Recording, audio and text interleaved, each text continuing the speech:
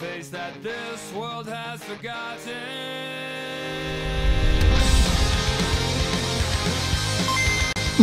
What is up guys, and of course, uh, welcome back to an episode of Who Was Really Better.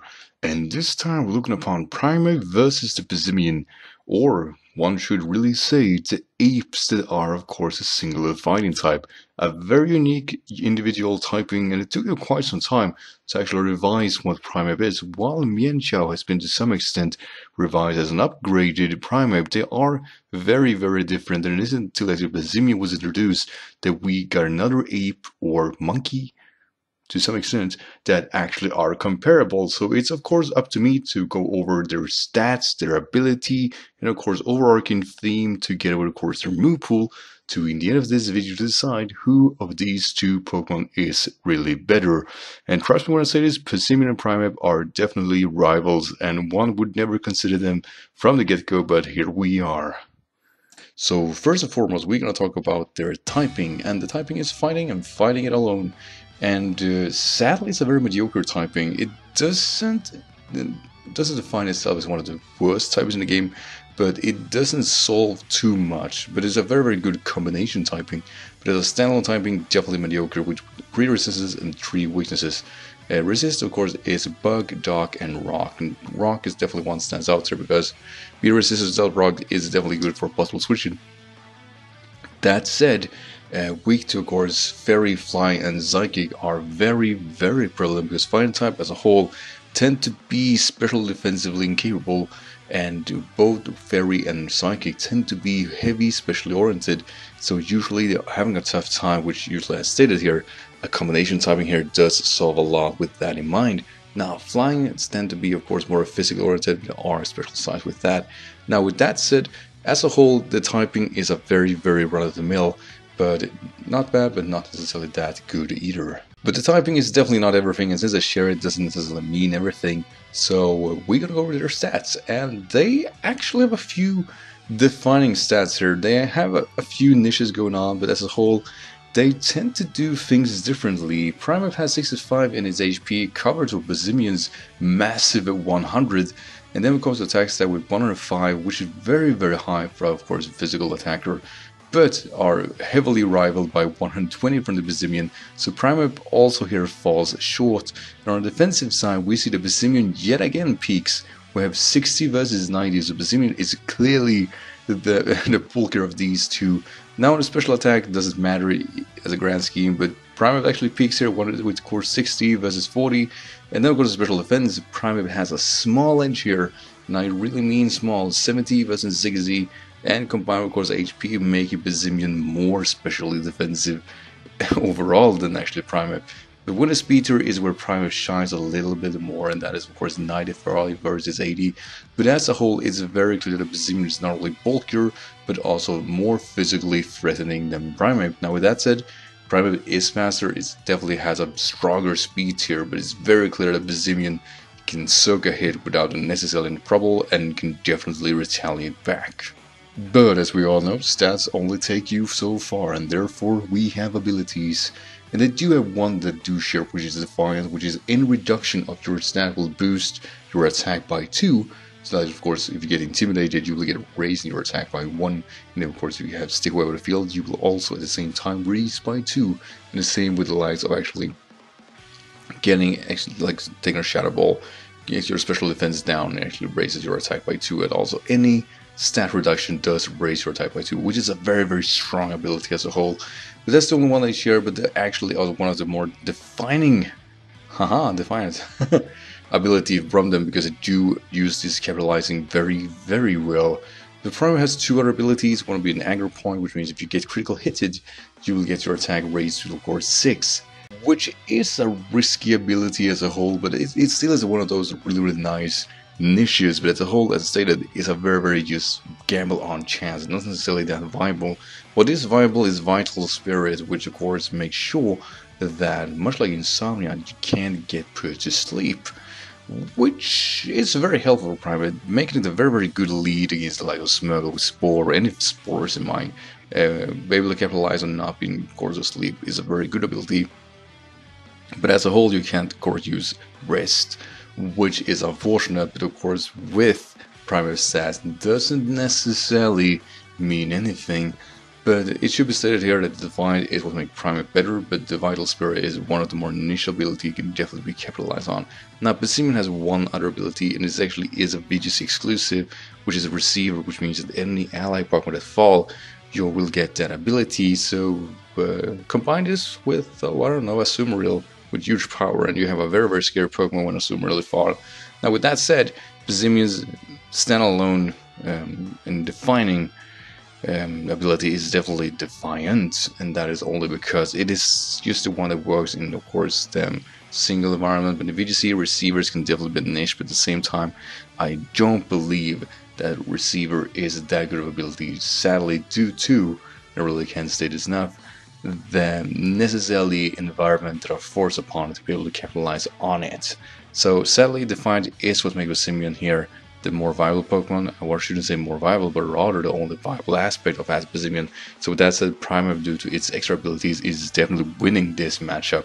But as a whole here, we see Primeape has stronger ability, worst possible stats in a defining aspect, and Passimian clearly stands out as being a bit more bulkier and more physically capable, and can probably work to find a lot better than, of course, Primeape. That said, a Pokemon, as always, are only as good as its move pool, so with that said, let's go over their move pool. So when it comes to these two Pokemon, what they do share in their move pool actually are the ones that are the most relevant ones when it comes to what they can do. They get the close combat, you know, that's the most relevant one in this factor, and they also do private rather nicely, with of course U-turn in mind. So as a, as a factor, those two combination of moves are very, very, very interesting and very good as a whole.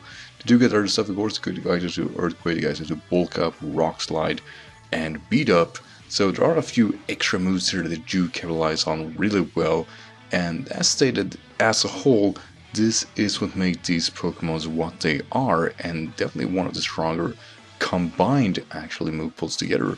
But they do differ somewhat, and we're gonna talk about of course that and see which one has a stronger overall move pool between these two.